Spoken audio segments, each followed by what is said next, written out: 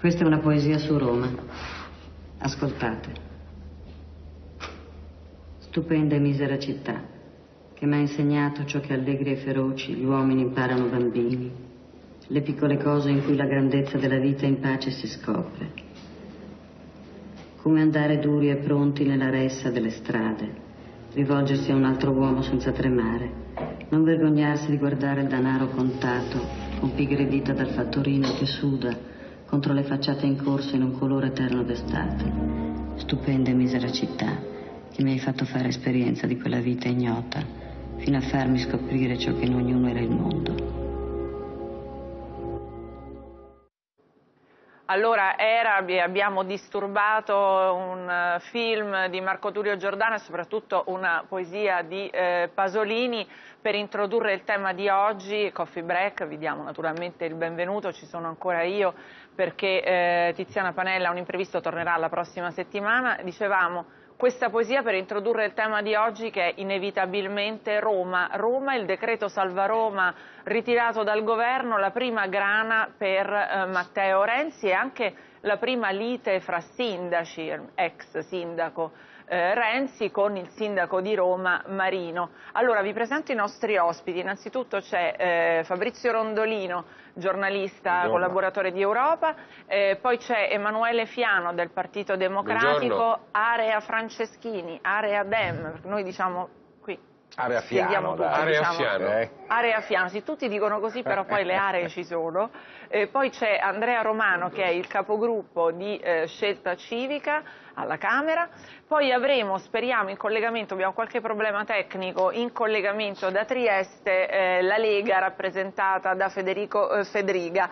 Allora, eh, io eh, comincerei subito da, questa, da, questo caso Salva Roma, però prima ancora di darvi la parola eh, vorrei far sentire subito che cos'è che ha fatto tanto arrabbiare Matteo Renzi che ha aperto il caso, le parole esatte del sindaco Ignazio Marino. Mi pare che non posso sottrarmi. In questo momento io non ho eh, davvero nessun interesse, nessun desiderio di mettere la mia faccia eh, di fronte al, a un disastro che era evidentemente annunciato.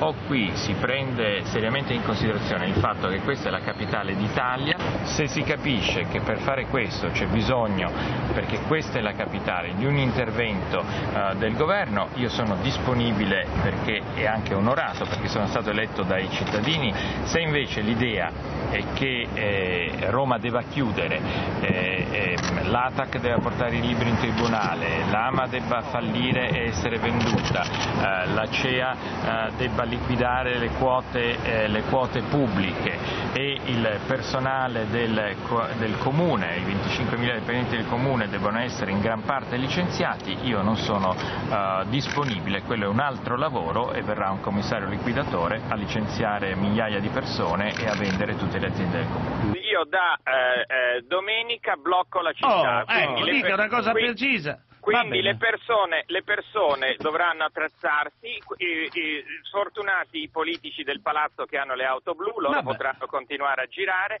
i romani invece non potranno girare fin quando allora, la domenica, si domenica si blocca Roma. Allora, eh, abbiamo sentito proprio dalla viva voce, queste sono le parole che hanno fatto tanto arrabbiare eh, Matteo Renzi però che cosa è successo? Ritirato il decreto, questo decreto conteneva dei soldi che servivano a eh, ridurre, insomma a risolvere almeno in parte, a tamponare l'enorme debito eh, che ha a Roma e, e il sindaco ha fatto questa minaccia. Il risultato è che tra poco alle 10.30 si riunisce il Consiglio dei Ministri effettivamente un decreto Renzi dovrà farlo, invece voleva intervenire con un altro strumento. Allora comincio naturalmente da Emanuele Fiano, in quanto esponente del Partito Democratico, il partito più ampio ovviamente eh, della eh, coalizione di governo. Allora Fiano, questo pasticcio. Ma intanto secondo me va detto che i due protagonisti della vicenda non c'entrano col problema, perché Ignazio Marino ha ereditato da Alemanno, non da quelli precedenti, da Alemanno 867 eh, milioni di debito del Comune di Roma. Dico da Alemanno perché il precedente debito che assomma a 16,7 milioni di euro, miliardi di euro, un debito pazzesco che ha il Comune di Roma, pazzesco, quasi 17 miliardi di euro, è stato diciamo, sistemato in una ristrutturazione del debito per la quale si pagano degli interessi, ma diciamo, cioè, ci sono delle garanzie a copertura. Eh, Ignazio Marino ha iniziato e si è trovato questo nuovo buco che riguarda i cinque anni di Alemanno. Non c'entra ovviamente Matteo Renzi perché si è trovato appena insediatosi a Palazzo Chigi un decreto che aveva ancora tre giorni, quattro giorni per essere convertito alla Camera e, e, si è trovato che i 5 Stelle, che avevano già qualche problema, hanno trovato un bel un boccone molto appetitoso sul fatto di fare ostruzionismo e fare come primo atto di governo di Matteo Renzi, che il primo atto di, di governo di Renzi fosse il ritiro del, del decreto. Dopodiché eh, la capitale è la capitale, ovviamente ha dei problemi che sono molto superiori alle possibilità di un uomo solo come il sindaco, di una giunta e dei problemi che non, che non sono dovuti solo agli abitanti di Roma ma alla mole gigantesca dei turisti che ci arrivano e il governo sicuramente oggi ci metterà a mano, il problema va, va risolto, è chiaro che Roma è in una situazione straordinaria, certo eh, non si può continuare così, cioè noi non è che possiamo continuare a pensare che tutti gli anni gli italiani debbano pensare a delle soluzioni specifiche per il comune di Roma, però i protagonisti che oggi sono nel centro della vicenda forse sono i più innocenti. Ignazio Marino ha usato parole che forse poteva evitare. Allora, Andrea Romano, Ignazio Marino ha esagerato nella sua reazione o comunque ha ottenuto qualcosa? Perché sappiamo che il governo voleva intervenire in un altro modo, non voleva fare un decreto, la ragione anche per cui ha ritirato questo decreto è che eh, avrebbe, avrebbe, dovuto mettere la fiducia, andare incontro all'ostruzionismo eh, del Movimento 5 Stelle e della Lega. Adesso spero che riusciremo a sentire eh, Federica fra poco. però, insomma, eh, minacciava il blocco non si faceva decreto. Io lo dico a malincuore perché Ignazio è un amico, ho pubblicato anche i suoi libri nella mia vita precedente, ma ha fatto un gravissimo errore. Il sindaco di una grande città non usa quelle parole, non, non minaccia di chiudere la capitale, non si lava le mani di fronte alle proprie responsabilità. Ignazio Marino, eh, mi dispiace di non essere d'accordo con Fiano, non è l'ultimo arrivato, è sindaco di Roma da molti mesi. È chiaro che la responsabilità del debito non è tutta sua, ci sono state amministrazioni precedenti, ma noi come interpreteremmo Matteo Renzi se dicesse ragazzi non posso fare niente perché sapete chi è venuto prima di me mi ha lasciato questo? Questo non, non si fa.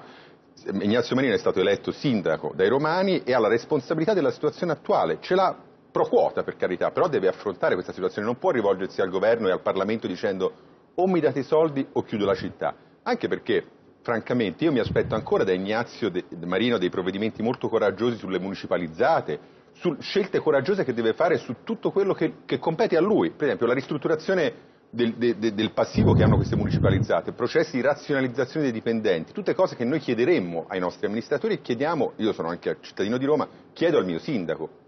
Un sindaco, soprattutto di una grande città, non può limitarsi a dire mi dovete dare i soldi. È una modalità che non è ammessa, quindi io credo che lui abbia fatto una pessima figura. Mi aspetto da Renzi che Renzi provveda oggi non tanto a dare un'elemosina a Roma, ma a chiedere che in cambio di queste risorse vi sia una, dire, un rigore di bilancio molto stringente sulla, sul modo in cui il sindaco gestirà le municipalizzate. Tra l'altro, scelta civica al Senato, quando avevamo discusso questo provvedimento, Scelta Civica, il mio partito aveva chiesto che vi fossero dei vincoli molto stretti nella gestione delle municipalizzate, perché questo è vero, dire, la vera malattia Beh, I numeri sono spaventosi, sono 31.000 allora, dipendenti. Da, da, da un sindaco innovativo come Ignazio Marino ci aspettiamo molto di più. Certamente non, non possiamo essere sempre noi a pagare e vedere un sindaco che, che, scarica la responsabilità di questa catastrofe su chi l'ha preceduto. È sindaco, faccia il sindaco. Allora, io spero che mi senta. Federica, buongiorno. Mi sente? Buongiorno, vi sento bene. Buongiorno. Allora, eh, la Lega è un po' responsabile di questo pasticcio perché la minaccia dell'ostruzionismo insieme naturalmente al Movimento 5 Stelle è venuta da voi, ma possibile che non ci sia però anche la considerazione che Roma d'accordo fare dire, tutte le spinte, il nord, localistiche eccetera, però insomma Roma dovrebbe essere un po' patrimonio di tutti come sono Parigi in Francia, Londra, cioè sono patrimonio di tutti. Sì, bene, ma il patrimonio di tutti penso che siano tutti i comuni del, del nostro territorio e sembra assolutamente iniquo che in un momento nel quale i comuni virtuosi sono costretti a tenere i soldi che hanno messo via con parsimonia in cassa a causa del patto di stabilità, qualcun altro possa continuare a spendere e sperperare. Io ho sentito il collega Fiano che ha parlato del debito di Roma Pregresso. Allo stato attuale però a noi non è dato sapere con certezza a quanto ammonta il totale de del debito di Roma Capitale. In secondo 16,7 luogo, eh, per chiedere sì, ma non è, eh, non è così, eh, onorevole Fiano, perché noi abbiamo una relazione tecnica che parla di 18 miliardi complessivi, ma un debito ancora non totalmente quantificato. Ed è drammatico che un comune, anzi il comune della capitale d'Italia, non abbiamo nemmeno la certezza di che buco ci sia realmente. Intanto Oltretutto, state vedendo, la regia sta inquadrando i titoli dei giornali di oggi per dire che Roma oggi certamente non è un problema locale, mettiamola così. Scusi Federica. Federica. E, sì, e poi ha altrettanto giustamente eh, il collega Fiano ha ricordato che da quando era stata fatta nel eh, 2008 la prima operazione per cercare di mettere a posto i conti di Roma si è accumulato quasi un altro miliardo di debito. Allo stato attuale io vorrei domandare cosa diciamo a tutti quei cittadini che pagano le tasse nei loro comuni e una parte di quelle tasse si vuole di nuovo utilizzarla per andare a far pagare una cattiva amministrazione. Ricordo per esempio che una società del comune di Roma, l'AMA, che ha 670 milioni di debito con le, con le banche, tra il 2008 e il 2010, in tre anni, ha assu- ha assunto 1518 persone. Adesso quindi o. Roma presenta un piano di eh, eh, ristrutturazione credibile che preveda dei tagli forti e l'eliminazione netta degli sprechi, altrimenti noi non ci stiamo più a continuare questo, diciamo, rincorsa al debito di Roma. Cioè il decreto, dopo il Roma, decreto che farà il governo che deve essere anche vincolato ad altre misure. Allora Fabrizio Roma Rondolino, eh, che sei, non sei romano, ma insomma vivi a, a Roma da tanto e soprattutto eh, vedi la dimensione politica di questo caso. Allora, eh, sì, insomma, in effetti un problema di responsabilità che non vengono mai indicate c'è anche Alemanno quando si insediò disse però Veltroni ha lasciato un debito spaventoso, poi lui però eh, più che fare piani di rientro eh, forse No, ha, fecero assunto, appunto fatto questa, assunzioni. ma- fecero questa bad company, questa, questa doppia contabilità, no? Però Per- c'è un tema di come intervenire che è subito nel- sul tavolo di Renzi, subito nella sua fretta, nella sua velocità. Sì, si chiama, sì, si chiama default controllato o commissariamento o come lo vogliamo chiamare. E proprio perché la responsabilità in Italia non è mai di nessuno e ciascuno con un elemento di verità la attribuisce a quello precedente, esistono delle procedure, diciamo così, oggettive, no?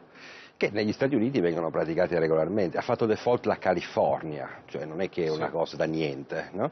e dal default della California è venuta fuori una California migliore, più moderna, più... perché come si usa anche dire, ma non si fa mai, le crisi sono anche delle opportunità, non sono soltanto delle catastrofi. Allora è evidente che il sistema Roma così com'è non può funzionare, è assolutamente evidente perché appunto non abbiamo abbastanza citato i dati, No, no, ma io ne ho, letti alcuni in questi giorni perché- sui giornali, Eh, cioè certo. per dire ATAC, quella che sono gli autobus per chi non è di Roma, 12.000 eh, dipendenti, quasi più o meno all'Italia, cioè più o meno i dipendenti all'Italia, di questi 12.000, 1.400 ogni giorno stanno a casa, sono assenti giustificati, 1.400, cioè più del 10% di assenteismo diciamo così legale, no? E perdono tutti il, il complesso di dipendenti è il doppio di quelli che c'ha la Fiat, cioè il comune di Roma dà da mangiare a più gente di quanto ne dia Marchionne, anche questo, eh? E, e con tassi appunto di inefficienza, di sprechi, di- di- di- che veramente gridano allo scandalo. Cioè, qui è, un- è un'intera classe. Io poi non lo so, se, sicuramente Alemanno ha fatto un disastro, ma sicuramente Marino Prima non ha- qualcosa, certo. prima- sicuramente prima c'era qualco- hanno fatto disastri anche per Rutelli e sicuramente Marino non è andato nella, nella direzione che poi, è che poi alla fine è l'unica, che lo dice sempre Lanzillotta, però insomma beh, è, anche abbastanza ovvio. No? La Che Lanzillotta bisogna- che però poi la, la, dice, Lanzillotta è il eh, nemico- il nemico numero ha uno. curato il bilancio, ha- ha curato il bilancio per nove anni, questa è la critica No, che per le- sei che- anni, sono sei, Sei. anni, non ha, eh, Sì, però- sbaglia Marino quando dice nove e comunque negli anni, poi risponderà Lanzillotta, negli Rutelli. anni della gestione Ma- Rutelli le cose non andavano così, No, ecco, certo. questo va Sì, e comunque ricordato. Lanzillotta ha le idee chiare, no? che sono anche idee abbastanza ovvie secondo me, cioè appunto se un'azienda, ci sono tre aziende pubbliche che non funzionano e che perdono un sacco di soldi, proviamo a privatizzarle. Stai introducendo il tema del fare default. Sì, Eh, io Federica, penso di sì. No, penso di- Federica, ma Roma perché- dovrebbe fare no, default. Scusa, soltanto per, per- per chiarire un punto. Sì, però- Cioè, non è una co- il default non è una cosa punitiva, il Certo. default è una cosa che consente al prossimo che verrà, che ovviamente non è Marino, di governare liberamente questa città e di essere giudicato per quello che lui sa fare. Perché a quel punto lì una serie di problemi saranno, saranno riso- risolti, saranno Cosiddetto quantomeno Chapter 11. affrontati. Sì. Allora, sentiamo chi è, chi è d'accordo e chi no su questo, usato, su questo passaggio. Sarebbe Federica, un- sarebbe un bel secondo lei cosa deve fare Renzi Beh, oggi? mi sembra- per un- E mi sembra l'unica, mi sembra l'unica via, Anche un commissariamento Matteo, immediato della una- città. Marino- Marini ha dimostrato anche rispetto, devo dire, alle dichiarazioni farneticanti che ha fatto nella giornata di ieri, di non essere all'altezza di gestire una situazione così delicata. È inutile, come giustamente è stato ricordato, continuare a dare la colpa al predecessore, sicuramente tutti hanno la colpa, ma nessuno ha avuto la soluzione. A questo punto un commissariamento che preveda eh, anche il default può essere una via percorribile perché prima stavo finendo di dire, se incominciamo su questa strada, il prossimo carrire è Napoli e ricordo che Napoli darà relazione della Corte dei Conti e non dagli uffici eh, di Milano della Lega Nord, è il risultato che ha, eh, un, eh, è sull'orlo del fallimento con un mancato pagamento da parte dei cittadini di Napoli di tasse e multe per il 50%. Un cittadino su due non paga tasse e, e o multe. Se noi vogliamo far passare che se esistono situazioni del genere, tanto c'è sempre Pantalone che paga, io credo che a questo punto tutti i cittadini di tutto il paese, dal nord al sud, siano legittimate, perlomeno uno su due, a non pagare più tasse e multe. Quindi o torniamo in una situazione normale e di regole e di giustizia tra i vari territori, altrimenti da questa situazione ho paura che non se ne uscirà mai. Allora, Fiano, eh, default, è vero che ci sono altre città sull'oro del baratro, oltre a Napoli, adesso come diceva Federica c'è anche Palermo. C'è anche voglio- Torino, nessuno ne parla. Torino c'ha 3 miliardi di buco post-olimpico. eh. Voglio... Anche il nord qualche volta. Voglio, beh, ha fatto bene Fabrizio Rondolino a ricordare una città del nord. Lì probabilmente sono gli effetti degli investimenti effettuati per, le- per i giochi Per invernali. Sì, sì, sì. E no, voglio peraltro ricordare a Massimiliano Federica, non so il suo voto personale, non me lo ricordo, ma che durante il governo Berlusconi il Parlamento risanò debiti di un'amministrazione di centrodestra di Catania che aveva vicino al miliardo di, eh, di buco, quindi non, non- non restringiamo solo alla vicenda di Roma perché ha avuto vari colori, insomma l'idea che in Parlamento si risolvessero i buchi di bilancio dei comuni. Secondo me, prima di tutto, è sbagliata questa idea, cioè eh, dobbiamo deciderci se siamo un paese che cerca un'autonomia locale molto sviluppata, il fatto che il Parlamento intervenga su dei problemi locali già di per sé è in parte contraddittorio. Io non so se, poi bisogna vedere cosa vuol dire esattamente il default controllato, so di certo che servono misure straordinarie, radicali, dicevamo prima con Andrea Romano, nel decreto Salva Roma che il governo adesso ha lasciato decadere, c'erano eh, delle, c'erano delle blande misure di controllo del bilancio del Comune di Roma, invece secondo me se in qualche modo il governo intenderà intervenire su Roma serve un patto tra chi dà dei soldi. Cioè serve che Palazzo Chigi eh, dire, si attribuisca una funzione di controllo maggiore. Serve un cioè che non intervento venga- straordinario, se noi dobbiamo dire ai, Se ai c'è un citt- intervento straordinario, però mi pare che allora lei non è d'accordo su un'ipotesi Guardi, non so che cosa default. vuol dire adesso per un comune, che Eh. cosa sia il default eh, controllato. Io so che servono misure radicali e sono d'accordo con chi ha citato prima, non mi ricordo se Rondolino, Federica o Roma, il fatto che mentre si accumulavano quasi di nuovo un miliardo di debiti, nel frattempo si assumevano, peraltro con qualche scandalo, se non vado errato, se la memoria non,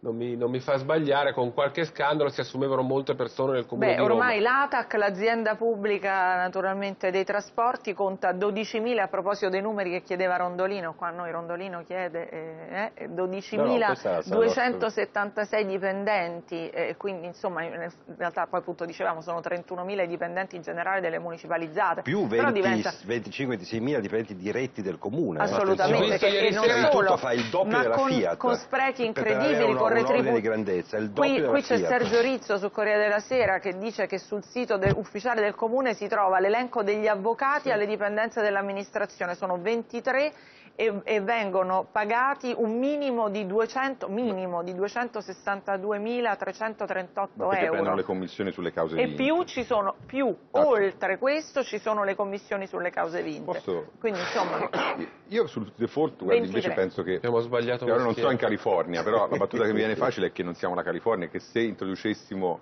una consuetudine di default nelle amministrazioni pubbliche italiane, locali, veramente non vorrei essere negli italiani dei tanti comuni nei quali potrebbe essere usato questo strumento. La cosa da fare le cose da fare sarebbero due, cioè quella di certamente rinegoziare il patto di stabilità, lo ricordava Federica, ma lo diciamo continuamente anche noi, quello è un patto che ha degli elementi di assurdità, nel senso che costringe i comuni virtuosi a non poter... Però perché non l'ha mai fatto nessuno? Adesso no. Matteo Renzi è una delle Questo, varie eh, promesse perché, che perché ha fatto ora, a proposito delle ma scuole. Finora noi, eravamo, perché? finora noi eravamo in una condizione di sospetto legittimo, cioè tradizionalmente l'Italia ha sforato i vincoli non per fare spesa produttiva, ma per in fondo aumentare la spesa pubblica improduttiva. E questo è fondamentale, che tra l'altro lo chiedo le lanci da tantissimo tempo. Però accanto a questo, e torno sul caso Roma e anche delle amministrazioni, fa, detto che le responsabilità, eccetera, però da Marino ancora non abbiamo avuto una parola chiara su quello che intende fare per risanare queste municipalizzate, cioè anche nel pezzo che abbiamo sentito, lui ha semplicemente chiesto, e va bene, ma se accanto a questa richiesta dicesse il mio piano prevede AMA, ATAC, eccetera, di passare da così a così, invece anche nella discussione sul Salva Roma che abbiamo fatto al Senato e stava arrivando in Parlamento, da parte dell'amministrazione di Roma c'è stata ma voi volete affamare i bambini, ma voi volete privatizzare l'acqua, sempre questa retorica un po', come dire, a mio parere leggerina, per la quale chi chiede rigore nelle amministrazioni... Ma secondo lei dove si dovrebbero privatizzare? Scusa, no, no, guardi, la questione non è o si privatizzano o c'è il bu, la questione è gestirle in maniera più sana, nessuno vuole rubare l'acqua agli sì, assetati o chiudere... Ho detto, scusa, solo un punto. Eh, come noi chiediamo, spending review, Cottarelli, chiediamo sulle grandi questioni nazionali un approccio più razionale, eh, così lo dobbiamo chiedere alle municipalizzate. Cioè, dice deve essere anche Marino a intervenire, Ma però certo. le municipalizzate potrebbe essere anche una roba, insomma, un'indicazione dallo Stato centrale. Una, perché... C'è anche una società di assicurazione di proprietà del Comune di Roma, è l'unico caso del pianeta Terra che è un ente pubblico, perché neanche lo Stato, si chiama ADIR, una roba del genere. Una sì, però poi questo significa, intervenire su questo significa posti di lavoro, no, in, cioè una non... città che evidentemente ha una larga sì, parte della sua economia e della sua occupazione eh, che...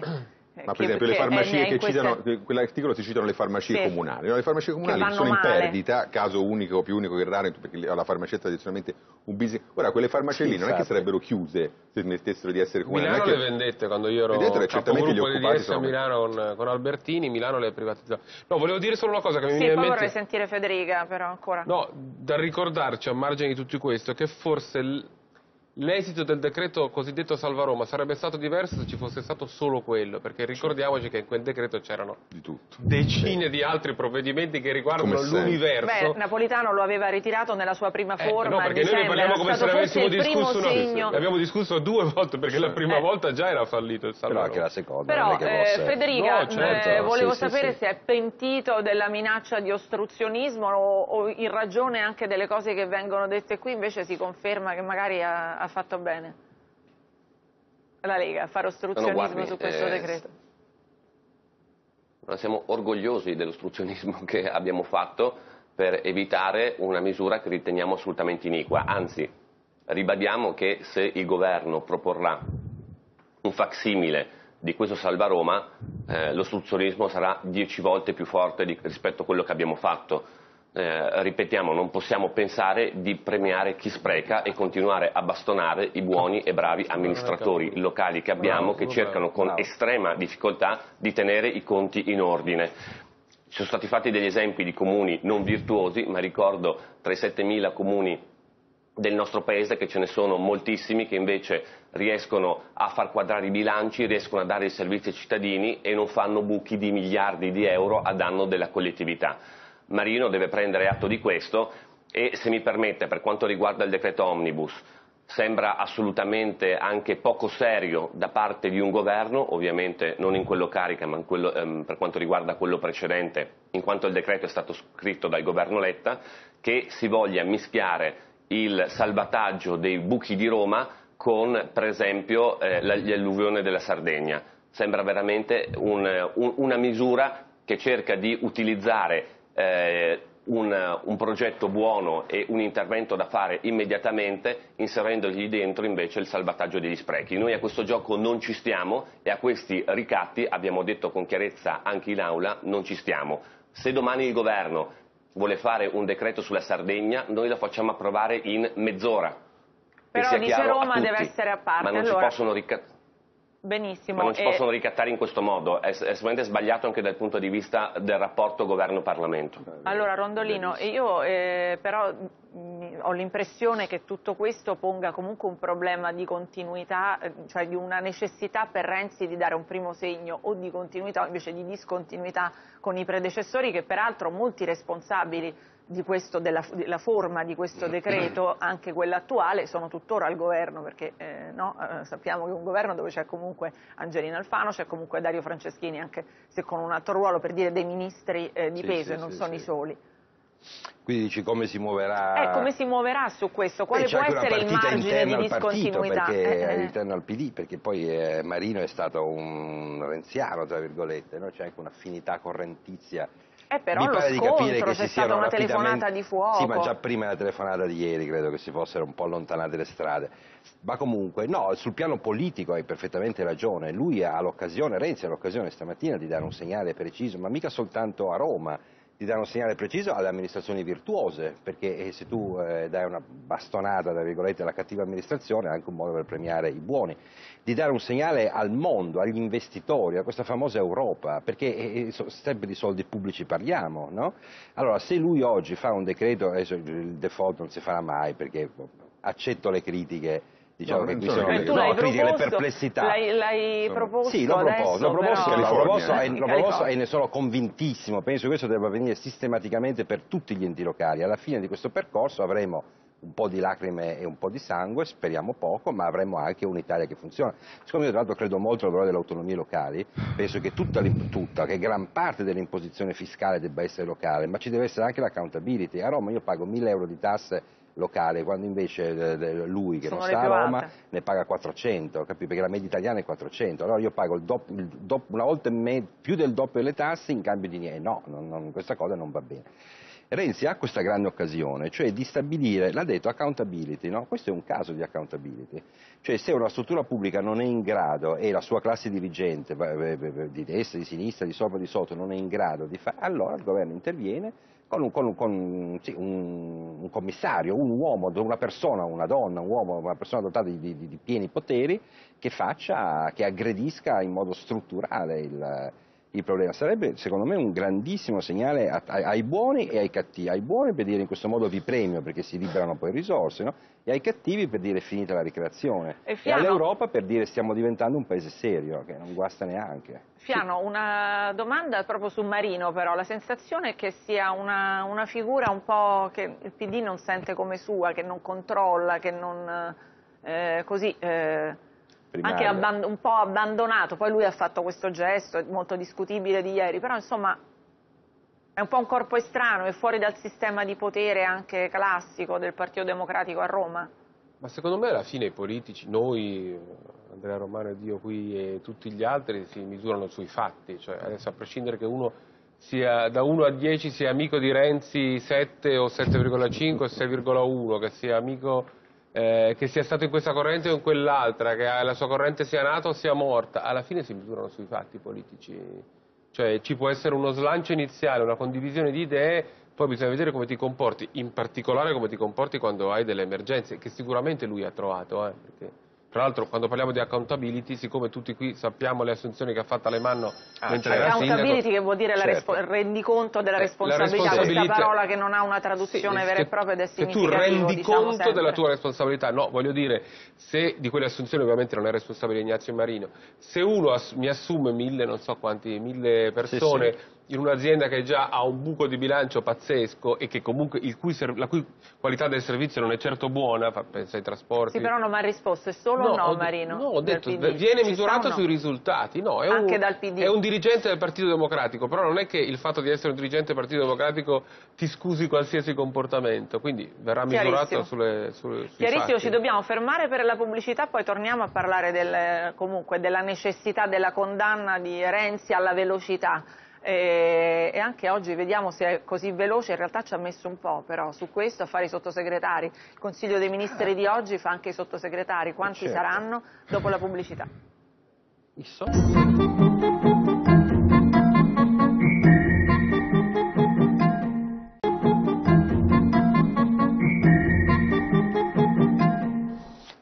Allora, di nuovo in studio eh, Fabrizio Rondolino, dicevamo questa autocondanna di Renzi alla, alla, velocità, però oggi forse il primo Consiglio dei Ministri voleva fare qualcos'altro e invece deve fare Salva Roma e sottosegretari. Come ti aspetti che, che sarà questo schema dei sottosegretari e soprattutto questa condanna alla velocità è, una, è effettivamente, cioè è dettata dalle europee, è dettata dalla concorrenza di Grillo? Dall'emergenza, è letteratura. Ma anche un po', beh no, è molta letteratura, eh, che lui stesso naturalmente contribuisce. È dettata dal, secondo me principalmente dal fatto che il sistema politico italiano, il ceto politico italiano, il sistema politico mediatico italiano è strutturato in modo tale per cui veramente chi si ferma è perduto, cioè le forze della conservazione, che poi dette così sembra che ci sia una cupola, gente che si riunisce, invece no, sono eh, come dire, un, un, un sistema sempre più feudalizzato in cui ciascuno pone resistenza per, per pura inerzia, cioè semplicemente esserci un elemento di resistenza. In questo sistema qua la, la, la, rapidità con cui lui si muove è esattamente quella, è, è, una, è, una, necessità non soltanto di comunicazione, ma ripeto anche proprio, d'altra parte ma è perché ha 60 pa... giorni di luna di miele, come si dice, cui deve fare tutto, non no, ha nemmeno lui, la luna di miele. Non ha nessuna luna di miele, perché lui ha deluso i renziani perché è andato al governo senza passare per le elezioni. Sta sull'anima del Partito Democratico, come abbiamo ampiamente visto, nel a parte naturalmente i presenti, come abbiamo visto nel dibattito parlamentare, ci avrà questo accordo con Berlusconi sulla riforma elettorale, però da lì a dire che un berlusconiano ce ne corre, Alfano lo, è, è, terrorizzato perché è l'uomo, quindi lui è completamente solo, lui è completamente solo, questo gli dà una forza, naturalmente gli dà anche eh, anche una debolezza. È anche questo che lo costringe Risponde a, a questo veloce. con questa estrema velocità, perché appunto chi si ferma è perduto. Tra l'altro secondo me lui moltiplicherà queste sue visite, cioè lui a Palazzo Chigi non ci andrà proprio. Io mi sono fatto quest'idea di Matteo Renzi. Ma come ha da fare tutte e c'è Del Rio, cose? Del Rio fa, se, se smazza tutta questa cosa. Andrà in giro, Federica. Renzi verrà, andrà in giro anche nel nord, ha cominciato dal nord.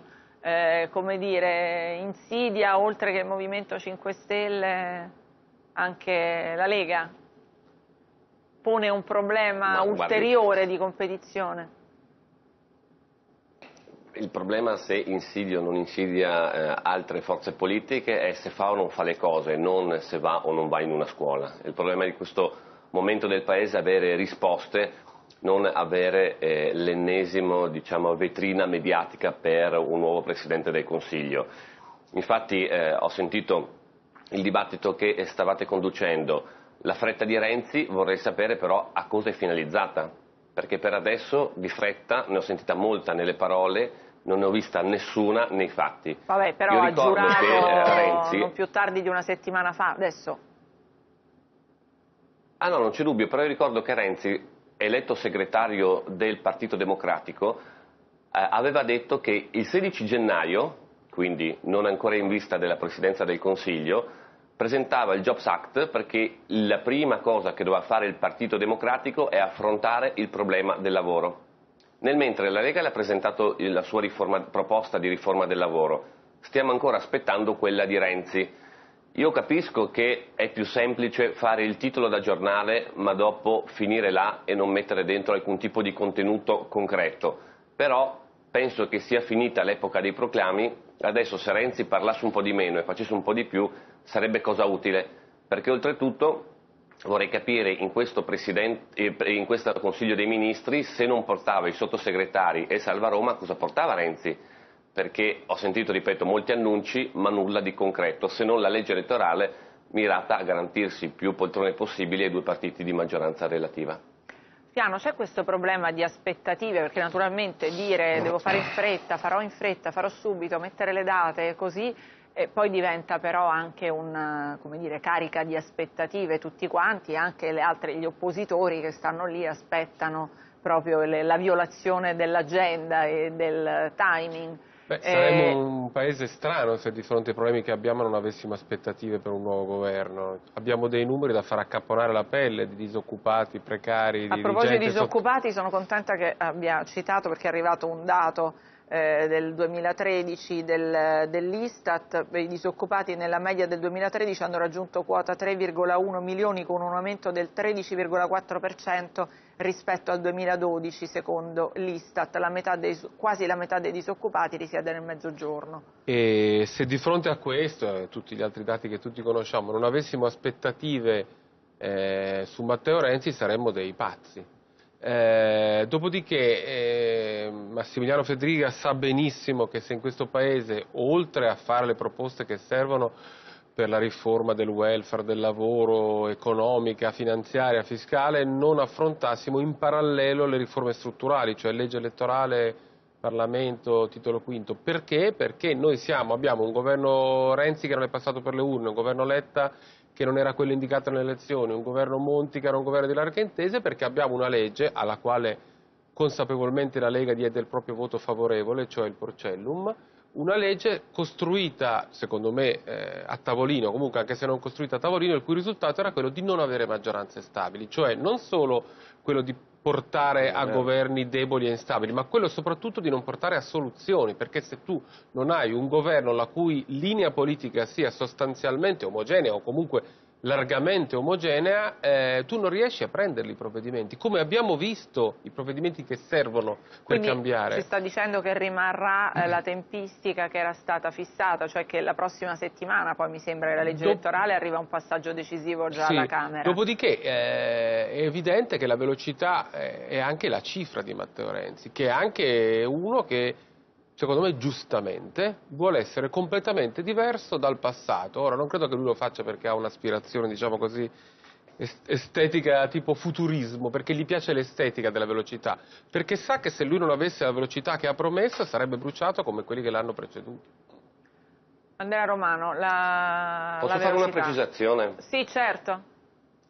Sì, velocemente poi Grazie. sentiamo anche no, soltanto per sì. dire che è velocissimo, soltanto eh, dopo uno, ovviamente anch'io non, ero, non ero, anzi, non ero assolutamente innamorato del Porcellum, però dire che non dava governabilità mi sembra un po' strano, visto che eh, quando sono successi i problemi alle maggioranze precedenti non veniva dalle coalizioni del Porcellum o da qualche strano partito minore che se n'è andato, ma è venuto per esempio l'ultima volta da un membro del partito di maggioranza che si chiamava PDL.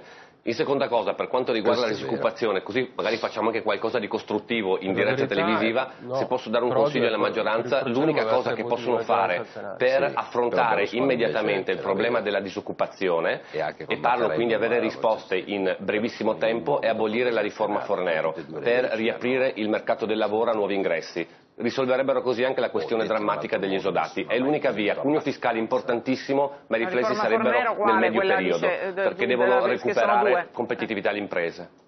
Allora, esodati sta nella riforma Fornero delle pensioni che se la tocchiamo credo sì, che succeda no, una, sembra... certo. una tragedia. no, no, io sto parlando sì. proprio della riforma delle pensioni. Ah, eh. Ma io le pensioni... Devono abrogare la riforma eh. delle pensioni Fornero. le pensioni le lascerei stare, sono state toccate anche troppo, anche con qualche errore, come naturalmente il caso della Fornero, ma quella non mi pare la vera emergenza. Sul tema della velocità non credo che la questione sia Renzi o non Renzi, è che tutti noi non abbiamo alternativa a andare molto velocemente. Io vedo il governo Renzi, al di là della simpatia o meno che ho verso Renzi, e ce l'ho la simpatia personale e anche politica, questa è veramente l'ultima occasione che ha questa stagione politica e questo Parlamento. Tra l'altro è un Parlamento formato in grandissima parte da persone che non c'erano la scorsa legislatura, quindi non è che, come dire, al di là di quello che facciamo nella vita abbiamo esigenza di fare bella figura, abbiamo sicuramente urgenza di produrre qualcosa e Renzi con anche come dire, un po' la forzatura che ha rappresentato la sua andata al governo, di cui lui è consapevole, è davvero l'ultima occasione. Però, e qui vengo alla domanda del nostro, della nostra, il titolo della puntata di oggi, dove li trova? Ma poi la domanda che viene fatta, perché sì, poi, ma... in realtà al di là della legge elettorale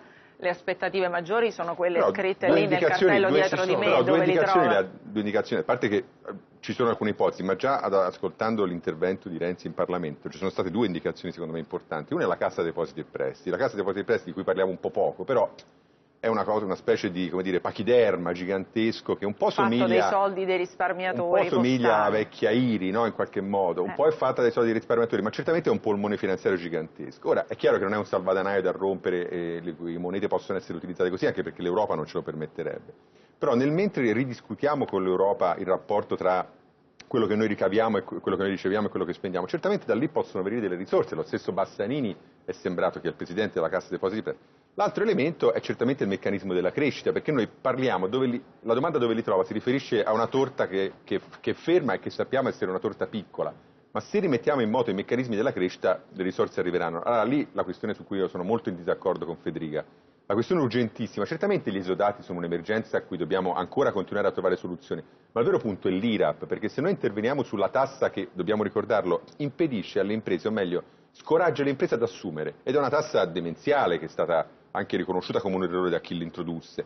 Se noi interveniamo lì radicalmente eh, diminuendo l'IRAP. Certamente diamo Però vediamo che fino adesso Renzi, anche in tutti i discorsi che ha fatto, non ha scelto, non ha no. scelto se IRAP, se IRPEF, non ha scelto se tagli di spesa o no, se aumentare le rendite. Però io vedo, Come mi hanno portato questa, questo lancio di agenzia dell'ANSA che è molto significativo e che è destinato sicuramente a fare a essere una nuova grana per questo governo, oh. perché è arrivata la richiesta dall'Europa, da Bruxelles, è arrivata la richiesta di chiarimenti sulla famosa rivalutazione delle quote eh, di Banca Italia. Oggi, devo dire, c'era un pezzo molto approfondito su questo, su Repubblica, eh, di Federico Fubini, eh, che annunciava, insomma, diceva che la lente dell'Europa si era accesa perché può prefigurare la forma di aiuti di Stato. Naturalmente siccome è stato un tema politico molto caldo questo e soprattutto questa rivalutazione non delle quote... Non intestabile a Renzi? Non intestabile a Renzi, assolutamente no, però è stato votato dal certo. Partito Democratico, nessuno ha battuto ciglio, è venuto il responsabile economia della segreteria Renzi, Taddei, nei nostri programmi qui alla 7 a dire che andava bene, quindi eh, attenzione a, certo, a dire certo. non da, da questo governo, una buona parte del governo lo ha votato, e soprattutto una parte delle coperture, perché era accoppiato così eh, ingiustamente all'IMU perché serviva a copertura dell'IMU. Quindi mi sembra un grande, insomma, un temone questo qui. Eh, il Tesoro l'ha confermato, la richiesta di chiarimenti è arrivata e le fonti del Tesoro lo confermano. Adesso l'Unione Europea nel, nella lettera c'è scritto noi valuta, dobbiamo valutare se si tratta di aiuti di Stato alle banche, il che poi rischia anche di dar ragione ai, agli inquieti grillini, eh, non so. Però allora vorrei sentire proprio su, questo, su questa notizia che cosa dice anche Federica e poi prego Federica. Guardi, io per, indipendentemente dalla notizia, io penso che dobbiamo cominciare a fregarcene di quanto ci dice l'Europa, perché eh. l'Europa ci aveva anche comunicato e... Sì, sì, abbiamo risolto, no, capito, perché? Perché ci aveva anche comunicato No, no, eh, permetti, ci aveva anche comunicato quando noi eravamo al governo di fare quella riforma le, delle pensioni di cui parlavamo prima. Noi abbiamo detto che facevamo cadere il governo se quella riforma veniva fatta. È arrivato Monti, il Partito Democratico ha votato compattamente la riforma delle pensioni Fornero. E quindi su queste, eh, che dopo il problema di quanto ha fatto il governo su Banca Italia dove sarebbe arrivato però Federica se non si fosse fatta quella riforma lì. Eh. Guardi, eh, non mi dica che, una, che lo scusi, spread non, non è niente mi, perché... No, no, non dico che non è niente, dico eh. solo che drammaticamente, e lo dico drammaticamente, lo spread non è direttamente correlato alla riforma che fa il singolo paese. Per, e sa perché glielo dico? Perché guardi a caso... Questo lo diceva Tremonti, guardi, questo lo diceva Tremonti abbiamo tutti pagato le mi fantasie scusi, di Tremonti. Mi, faccia, io, mi scusi, mi scusi, Facciamo mi finire scusi. Federica, però le, scusa, le, devo, scusa, scusa. le devo, chiedere Faccio, di essere... Finisco, dopo Prego. Romano può parlare certo. tranquillamente Finisca, e illuminarci con la sua sapienza, no, però se mi fa finire sono... Grazie. No, no, eh, eh, infatti guarda caso lo spread è andato di pari passo in tutti i paesi che sono stati assaliti dalla speculazione. E parlo di Francia, Italia, Germania, Portogallo. E non è che insieme tutti facevano la riforma delle pensioni e lo spread quindi scendeva. Non è, così, non è così, quindi dobbiamo dire la verità ai cittadini e finirla di dire che è stata fatta la riforma delle pensioni per salvare lo spread e salvare i conti del paese. È stato un massacro verso i cittadini, ma non solo è stato spostato il costo sociale dalla previdenza pubblica all'azienda privata perché un lavoratore in Vabbè. là con gli anni costa 2,5 volte in più rispetto al giovane Federica, che entra. però non, non andiamo così sul retrospettivo quella riforma ecco, non ritorniamo alla Fornero posso... no, non possiamo non niente perché dobbiamo cioè... dare la pubblicità ma subito dopo certamente Prego. tutti potranno rintervenire. A fra poco restate con noi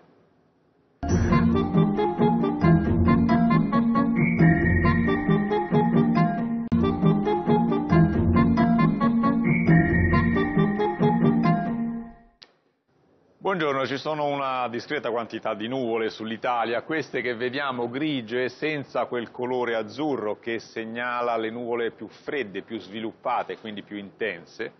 Vedete che ci sono, soprattutto sulle zone centrali, su parte del nord, è diciamo, una un tempo appena un po' incerto, non particolarmente perturbato, però nell'angolo in basso a destra si vede quest'ampia zona di nuvole molto intense, calcolate che ogni puntino colorato è un nucleo temporalesco, tutta la zona è grande 5 o 6 volte quella che voi vedete, quindi va dal Nord Africa alla eh, Turchia ed è quella che è passata ieri in realtà sull'Italia senza dare fenomeni particolarmente intensi. Arrivata sullo Ionio, sul Mediterraneo orientale si è intensificata ma veramente nel giro di pochissime ore. Questa però è ormai il passato per noi, il futuro è questo, vale a dire queste nuvole più intense che stanno di nuovo entrando dalla porta di nord-ovest e così come ci si aspettava la, la linea è quella di oggi un tempo incerto, domani un tempo perturbato e poi piano piano eh, il tutto si attenua. Lo vediamo attraverso le nostre carte, la, eh, la previsione per la giornata di oggi, che se ricordate avevamo detto non è tutto insieme, nel senso che le piogge del sud erano quelle residue di questa mattina che ormai sono, sono passate. Poi vedete che c'è una certa nuvolosità con le piogge sulle regioni centrali che passerà poi al sud, ma nel frattempo entreranno le altre, quindi è una successione continua, gli intervalli sono veramente piccoli, corti poche ore. Quindi nel complesso, nel corso della giornata di oggi, c'è il nuovo peggioramento che prende il nord-ovest, poi va a prendere il centro e poi alla fine arriverà anche al sud. Quindi è una giornata di transizione in qualche modo. La giornata di domani già un pochino avanzata, quindi già vi ho segnalato il, diciamo, il miglioramento, comunque l'attenuazione dei fenomeni su tutto il settore occidentale, mentre dal nord-est alle regioni centrali al sud resta questa situazione di eh, maltempo, di pioggia anche di una certa consistenza. Tutto questo maltempo si sposta lentamente verso sud-est, per cui domenica saranno liberate in qualche modo eh, le regioni eh, settentrionali, a parte qualche pioggia residua sulle regioni di nord-est, le regioni centrali, ma direi mh, Lazio e Abruzzo, perché già Toscana, Umbria e Marche saranno un po' al di fuori, avranno piogge residue, resta il maltempo al sud, soprattutto sulla zona tirrenica più che su quella adriatica. E anche questa situazione si attenuerà ma lunedì si ricomincerà di nuovo, quindi ci sono solo brevi intervalli. Vediamo che cosa succede nel campo delle temperature, la tendenza complessiva eh, venerdì, sabato e domenica è questa, leggeri aumenti al nord, leggere diminuzioni al sud, ma parliamo sempre di piccole variazioni, e poi la carta successiva ci dà eh, sabato, domenica e lunedì come complessivo della, della, eh, della, variazione, adesso vediamo se arriva comunque, eccola qua, vedete leggeri aumenti ovunque. E poi quella successiva, domenica, lunedì e martedì, quindi vedete un po' come cambia la situazione, leggere diminuzioni, però leggere salite, leggere diminuzioni fa sì che queste oscillazioni delle, delle temperature siano più o meno fisiologiche e a questo punto non molto, visto che insomma marzo eh, ci siamo, eh, non molto lontane da quella che dovrebbe essere la media prevista per questo periodo dell'anno. In questo, in questo campo, quando siamo in media, è, è, la cosa eccezionale, perché di solito si sta o al di sopra o al di sotto, a scelta. Arrivederci. Allora, eh, Paolo Sottocorona ci ha spiegato com'è il meteo, però abbiamo un, ancora un po' di, di tempo per parlare dell'altro fatto de, di questi giorni, di queste ore, ovvero il Movimento 5 Stelle. Eh, questa diaspora eh, dentro i gruppi parlamentari. Naturalmente ieri Beppe Grillo, eh, chiedo a Rondolino di fare un po' un quadro, eh, Rondolino ha detto, sì Rondolino Grillo ha detto, non, non, non ti, eh, via i parassiti, eh, dal movimento. Allora, questa linea, intanto però questa cosa, tu conosci molto bene il Partito Democratico nelle sue varie ramificazioni, questa cosa ha creato tutto un subbuglio, tutti si augurano che facciano un gruppo parlamentare, magari con Sel, magari insomma che si possa fare una terza maggioranza per Renzi e poi qualcuno invece dice no, guai se Renzi fa anche la terza maggioranza, oggi lo dice il giornale. Insomma, quali aspettative anima? E soprattutto, eh, poi va bene, questo movimento a livello parlamentare si traduce secondo te in, eh, in riflessi sull'elettorato di Grillo? Sì, effettivamente, ma io direi così che mh, questo è un effetto, la, la, disintegrazione è una parola forte, ma insomma lo, lo smottamento dei 5 Stelle è, un effetto, è uno dei tanti effetti di, di, di, di Renzi, cioè la, la, la, forza politica di Renzi si misura anche sulla capacità diciamo, di rimbalzare in schieramenti e in, in, in forze politiche anche lontane o anche molto lontane. Detto questo, io vedo una saggezza nella, nella, posizione di Grillo, anche se viene accusato giustamente di essere un dittatore, perché il Movimento 5 Stelle si pone, ormai è evidente, no? cioè si pone come un movimento rivoluzionario, tra virgolette, cioè che non accetta nulla delle regole, delle, delle, delle procedure, delle prassi, non voglio dire eversivo perché diventerebbe una parolaccia o una calunnia, dico rivoluzionario e dunque ha bisogno di un nucleo d'acciaio. Siccome io penso che si vada nel prossimo anno alla battaglia decisiva, che non è quella tra destra e sinistra, perché centrodestra mi sembra tutto sommato marginale, ma è quella tra Renzi e Grillo, cioè due versioni diverse della rottamazione, poi possiamo anche metterla così, no?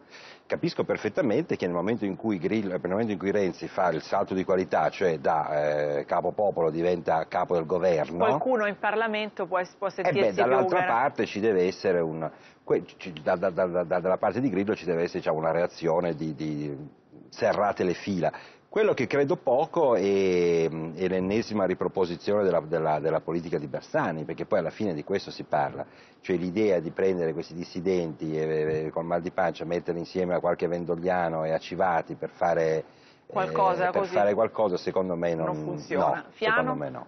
No, anche secondo me, io non penso... Però ci sono alcuni dei vostri, Civati, Mineo, ehm, Alcuni, Tocci. ne siamo 400, ne stiamo eh. citando due o tre, diciamo. No, però stiamo citando quelli che al Senato magari potrebbero dare una mano per fare Guarda, questo Secondo me, io mi sbaglierò, ma siccome stimo e conosco Matteo Renzi, lui non cade in questo errore di voler eh, affidare il proprio futuro, che immagina come un futuro decisivo per il Paese, alla fuoriuscita di, qualche, di qualcuno dei parlamentari del Movimento 5 Stelle, fenomeno invece da guardare con attenzione, io non dico di no, anzi, secondo me molto da guardare con attenzione. Secondo me, come diceva Rondolino, io penso che ci sia una sicura relazione tra l'ascesa di Renzi e quello che sta succedendo nel Movimento 5 Stelle. Eh, ho sentito, lo diceva esplicitamente un senatore del Movimento 5 Stelle, eh, Renzi parla un linguaggio e cita temi eh, e ha un target spesso simile al nostro.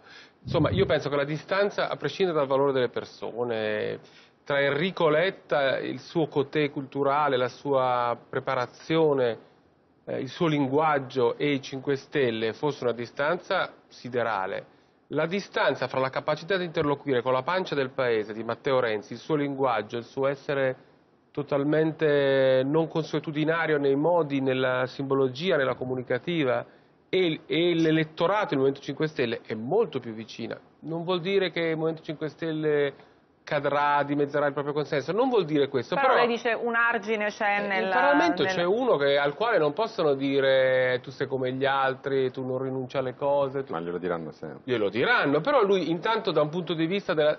Già no, del... tant'è, che, tant'è, che, metà di loro ha votato a favore dell'incontro quando, eh quando certo, Grillo posa ai voti certo. la, la Un momento soltanto perché lo volevo chiedere, poi lascio concludere Andrea Romano, volevo chiederlo a Federica eh, visto dalla Lega. Ah, il collegamento no, eh, non, non, mi sente Federica. Eh, va bene, allora eh, mi, dis mi, dispiace perché era interessante ovviamente visto dalla Lega anche questo pasticcio Caos 5 Stelle, però intanto non, non per togliere, prego, no, Andrea Romano. Io penso che diciamo, sia successo qualcosa in questo Movimento 5 Stelle, nel senso che noi ci dimentichiamo che il voto che ha avuto Grillo non è un voto del tipo di quello che vediamo in Parlamento. Cioè in Parlamento vediamo i grillini che comunque qualunque cosa succede gli dicono siete dei ladri. Quel voto invece, cioè gli italiani che hanno votato quel movimento, non erano italiani col coltello tra i denti che volevano la morte della politica, l'estinzione di tutte le democrazie.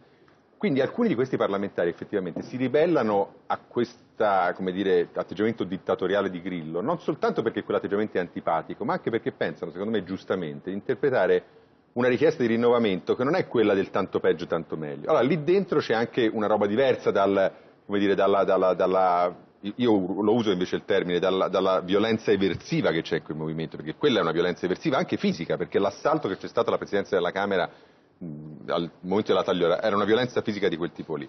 Quindi lì dentro ci sono delle istanze politiche che possono avere, non so se possono andare a sostegno di Renzi, però sono istanze anche civiche se vogliamo, che possono avere anche una evoluzione Però diversa. sono poco significative poi sul Beh, piano vediamo elettorale. intanto se sono Vediamo. poco significative, anche perché Ecco, molte, molte di quelle persone, di quei parlamentari, sono anche persone per bene, che sono state a volte, come dire, soverchiate dalla violenza di quelli più, tipo un personaggio come Di Battista, no, di cui spesso si parla. È un guitto da teatrale, cioè uno che eh, ha una postura particolarissima, che certamente ha più successo degli altri che invece magari sono più pacati.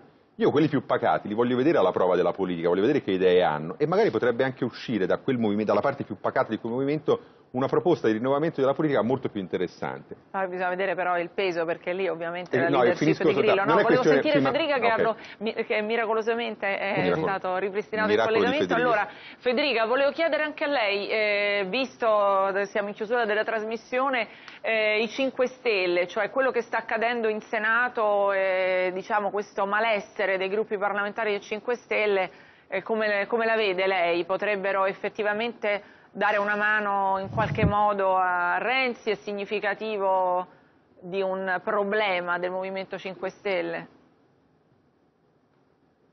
Beh, che ci sia un problema non c'è dubbio, comunque io eh, cerco sempre di portare grande rispetto anche per eh, scontri accesi che ci sono all'interno dei movimenti politici perché sono una loro questione ed è giusto che la risolvano nel migliore dei modi e non vorrei speculare su questo.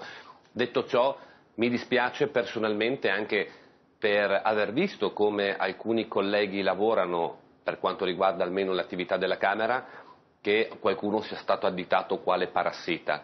Io penso che ci debba essere, come è giusto che sia, in ogni realtà politica il dibattito, anche acceso, anche lo scontro, però ecco, andare sul personale e incominciare ad accusare personalmente dei soggetti che oggettivamente non hanno fatto nulla di male, mi sembra, se non esprimere un'opinione che si può non condividere, eh, non si può non condividere, ma incominciare ad attaccarli personalmente mi sembra scorretto, anche perché alcuni di quelli che ho sentito essere attaccati sono tra quelli che magari vanno un po' meno in televisione ma fanno grande attività all'interno delle commissioni dei 5 Stelle. E quindi lavorano in modo silenzioso ma molto approfondito. È così. Allora, è esattamente, così, è esattamente quello che anch'io provavo a dire, cioè le persone più, io ti dicevo più pacate, ma Federica giustamente ha usato il termine più capaci, sono quelle che pagano lo scotto, come dire, di non essere quelle che alzano la voce e che non fanno È cagnara. una, è una dinamica classica dei, dei Sì, movimenti rivoluzionari nella storia, cioè Sì, c'è, una, sì, sì, c'è sì. un'avanguardia che non permette che venga messa in dubbio la forza del proprio essere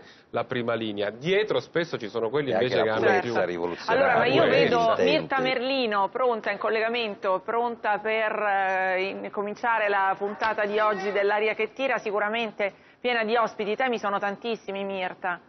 Beh sì, insomma, diciamo che abbiamo lo scontro Marini-Renzi su cui torneremo raccontandovi anche un po' di storie che riguardano il Comune di Roma e i suoi numeri abbastanza incredibili e fuori controllo. Poi abbiamo invece il, il tema del Consiglio dei Ministri che è in corso in questi minuti, usciranno i nomi dei 45 pare sottosegretari insomma ragioneremo anche su quello. Cencelli ci aveva detto in un'intervista molto divertente che, che Renzi avrebbe avuto un bel da fare con i sottosegretari per accontentare tutti, mi pare che stia capitando. E Sta poi capitando anche- perché se posso, se posso solo Sì, dire una cosa, eh, abbiamo ricevuto un sms da un insider e alla domanda come va con i sottosegretari la risposta è stata caos.